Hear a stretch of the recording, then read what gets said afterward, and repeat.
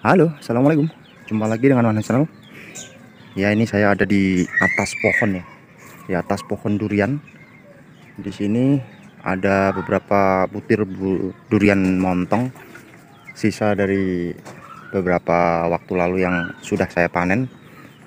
Saya memanennya dengan cara menunggu uh, dia jatuh sendiri ya. Waktu itu saya menjadikan atau membuahkan dengan jumlah sekitar 30 satu pohon ini pohon durian montong ini. Dan ini hanya uh, sisa sekitar 9 di sana ada 1 2 3 kemudian di bawah situ satu ya 4 sini ada 5 6 7 8 dan 9 itu yang kecil. Ada beberapa yang kecil bahkan nampak seperti gundul seperti itu ya sebentar saya cek. Ini dia. Duriannya seperti gundul meskipun buahnya ukurannya itu kecil. Entah kenapa di tahun di tahun ini uh, ukuran dari buah montong durian montong saya ini kecil ya. Mungkin karena kemarin lalu itu uh, cuaca panas atau musim kemarau memang benar-benar kekeringan di tempat saya juga. Air itu benar-benar kering bahkan sumur pun harus menunggu misalkan nggak mau menggunakan air itu tidak harus tidak pasti selalu ada.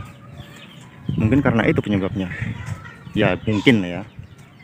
Namun untuk pemupukan saya rasa masih eh, lanjut saya melakukan pemupukan ketika proses vegetatif bahkan juga generatif saya, saya melakukan pemupukan buah ya.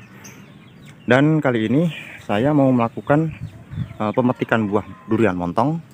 Tidak menunggu dia jatuh tapi saya petik saya petik kemudian bagaimana perlakuannya agar kita bisa uh, membuatnya matang sempurna setelah pasca petik nanti. Langsung saja ini saya akan memilih salah satu durian yang agak lumayan lah ini ukurannya lumayan besar ya. Ini saya akan potong terlebih dahulu ini karena posisinya agak susah kalau saya pegang kamera. Jadi saya akan off kan dulu kameranya nanti kita lanjut lagi untuk perekaman namun saya sebelum saya memetik durian itu saya akan sedikit bicara mengenai tentang ciri-ciri buah durian terutama khususnya buah durian montong ya di kasus saya ini. Uh, kondisi bagaimana saja ketika kita mau melakukan pemetikan jangan sampai salah petik ya. Masalahnya jika duriannya itu masih muda atau belum layak untuk dipetik tapi sudah kita paksakan untuk memetik bisa jadi nanti matangnya kalau ketika matang buahnya rasanya itu kurang kurang enak kurang bisa maksimal ya. Salah satu ciri dari uh, durian montong yang sudah layak untuk dipetik dan dilakukan pemeraman yaitu warnanya sudah agak kecoklatan seperti ini. Ini ya warnanya sudah seperti ini. Meskipun ini bentuknya agak uh, tidak beraturan pendol di bawah berkerut ngeriput ya. Entah ketika penyerbukannya waktu itu bermasalah atau gimana kurang paham lah yang jelas. Kondisinya seperti ini salah satunya ya seperti itu. Soal warna warnanya sudah agak coklat seperti ini. Biasanya kan kalau masih hijau dia tuh pertanda masih muda. Tapi kalau sudah agak kecoklatan seperti ini berarti dia sudah tua dan sudah memenuhi kriteria untuk dipetik. Kemudian yang kedua yang kedua tuh ketika kita tekan durinya seperti ini dia sudah agak empuk ini. Nih ya. Ini ini sudah bisa bergerak maksudnya sudah ada gerakan tidak terlalu kaku. Itu tandanya dia sudah tua. Nah, seperti itu. Nah yang ketiga salah satu cirinya adalah cincin dari uh, ruas batang buah durian ini sudah kelihatan ketara atau sudah terlihat cekung seperti ini. Oke langsung saja saya petik. Saya tidak menjadi uh, tidak apa maksudnya saya tidak jadi petik uh, durian yang itu ya karena posisinya agak sedikit sulit ini batangnya terlalu kecil ketika saya takutnya kalau saya naik ke situ malah jadi gimana gitu. Jadi saya uh, memberi mengambil contoh yang mudah dijangkau saja oleh kamera agar bisa langsung melakukan pemetikan. Oke langsung saja karena ini dekat dengan batang utama jadi lumayan aman lah. Langsung saja untuk melakukan pemetikan potong di atasnya ya di atas di atas dari cincin ini ya. Seperti ini. Bismillahirrahmanirrahim. ah. Oke. Dia bergelantungan. Saya akan lepaskan dulu talinya. Oke ini kondisi saya sudah ada di bawah dari pohon durian montong. Jadi di sana tinggal tujuh ya tujuh butir. Itu juga yang empat sudah dipesan oleh orang. Katanya nanti kalau sudah jatuh mau diambil. Dan yang dua ini saya petik langsung dari pohonnya tidak menunggu jatuh sendiri dari pohon. Ini bentuknya emang agak unik nih tahun ini emang agak aneh. Buahnya tuh ukurannya tidak sebesar tahun lalu. Dan ada beberapa yang uh, bisa dibilang kuntat ya buahnya kecil. Ini yang tadi kondisinya seperti ini. Bentuknya tidak bisa sempurna. Nah, salah satu cirinya juga jika ini atau uh, getahnya dijilat kadang tuh ada rasa manisnya itu juga pertanda salah satu bahwa durian itu sudah tua atau sudah layak untuk dipetik atau dilakukan pemeraman. Oke, setelah ini kita lanjut ke proses pemeraman ya. Oke, sekarang ini saya sudah ada di rumah ya. Langkah selanjutnya adalah uh, kita melakukan pemeraman agar durian yang kita petik dalam kondisi keadaan tua ini bisa lebih cepat untuk matang. Biasanya saya melakukan cara seperti ini untuk um, mempercepat matangnya dari buah durian yang kita petik dalam kondisi tua seperti ini. Saya menggunakan kain seperti ini ya. Mungkin ada yang bilang agak terdengar uh, agak ribet ya tapi sebenarnya enggak juga lah. Kain bekas bisa menggunakan uh, apa gitu ya yang udah nggak kepak nggak kepakai. Ini kita gulung seperti ini kalau ada dua ya disesuaikan saja ini saya karena berhubung ada satu kain saja hanya saja kainnya lumayan besar. Ini tadi patah tangkainya waktu di perjalanan. Kalau ada yang kecil ya gunakan kecil ya kayaknya yang penting dia tertutup seperti ini. Nah itu kita tutup lagi. Secukupnya ya tidak ada aturan standar harus berapa. Setelah kita bungkus kain seperti ini selanjutnya adalah saya memasukkannya ke dalam ember seperti ini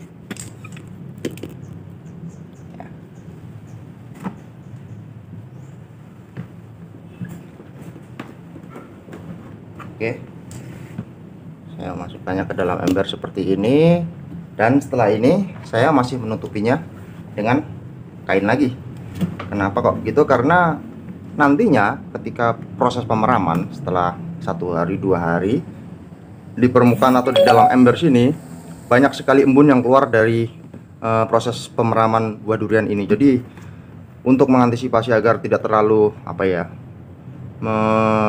tergenang air embun tadi yang netes ke bawah jadi saya mempersiapkan kain ini agar bisa diserap airnya oleh kain ini setelah ini setelah ditutup kemudian saya menggunakan tutup ember ini setelah melakukan proses seperti ini kita diamkan kita letakkan di tempat yang teduh gelap nanti prosesnya sehari dua hari bisa kita buka dan kita akan lihat hasil dari proses pemeraman selama dua hari, satu hari, dua hari atau tiga hari tergantung dari uh, buah durian itu ya kondisinya itu memang sudah benar-benar tua siap matang atau masih uh, lumayan muda.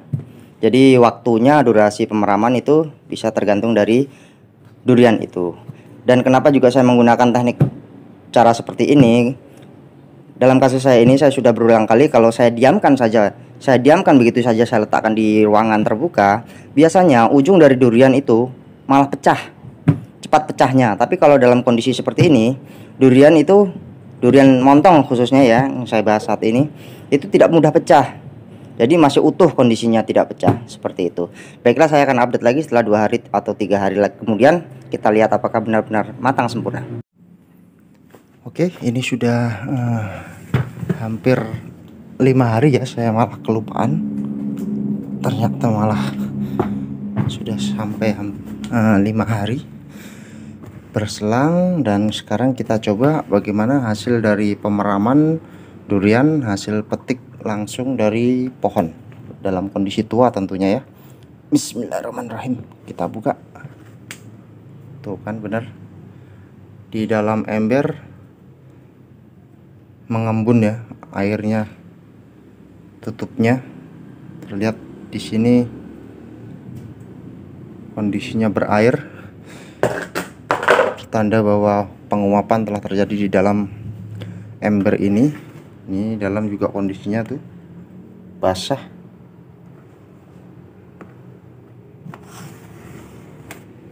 Berkeringat ya. Sekarang kita coba keluarkan. Siapa tahu sudah matang. Bismillahirrahmanirrahim.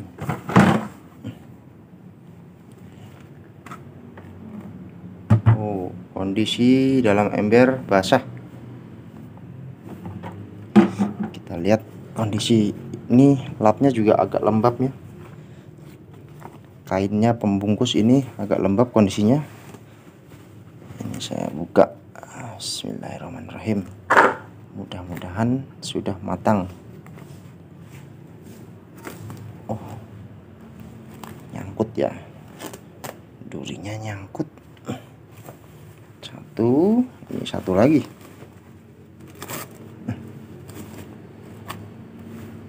iya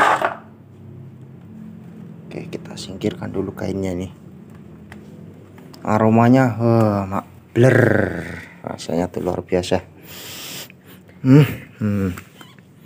wangi wangi durian. Ini kita coba satu persatu. Kita mulai dari yang ini agak setengah gundul ya. Ini nanti dulu. Ini dulu kita lihat suaranya puk puk puk puk. Tandanya di dalam sini sudah tua. Ya memang agak sudah empuk ini.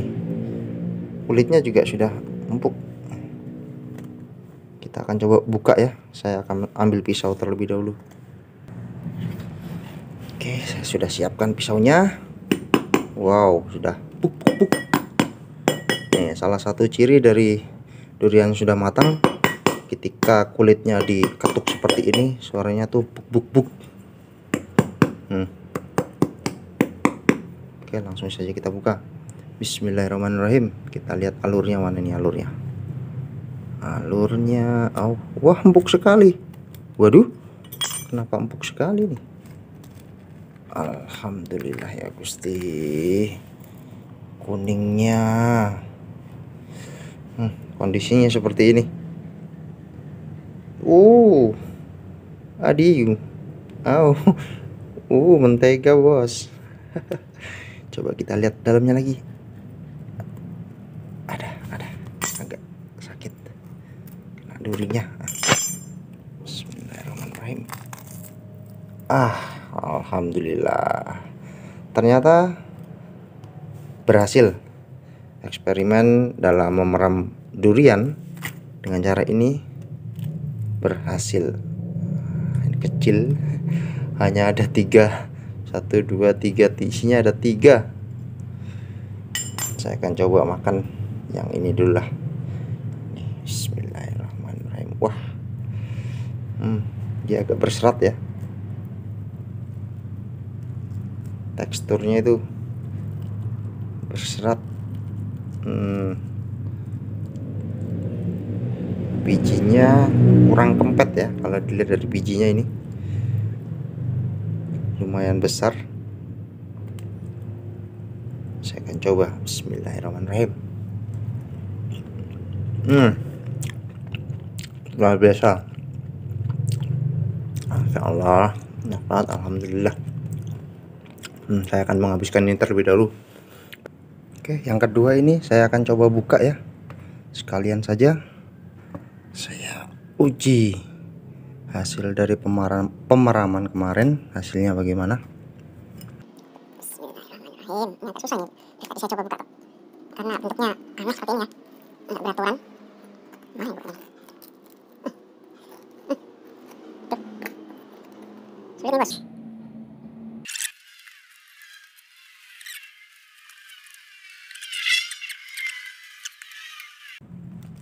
Au. Ada, ada, ada, ada, ada, ada, ada, ada.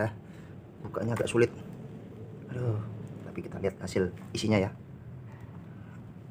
Terlihat masih muda memang. Ada ya gitu. Uh, mantap mah bro. Kuning mulus. Hmm, hmm, hmm. Coba lihat. Uh. Oke sip mantap. Uh, ya Allah, oke sempurna, mantap ya.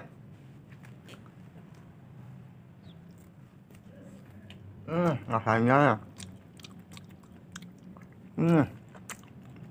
Top marka top, good mar so good. Kelihatan bukanya susah tapi dalamnya, uh, harta karun mas bro.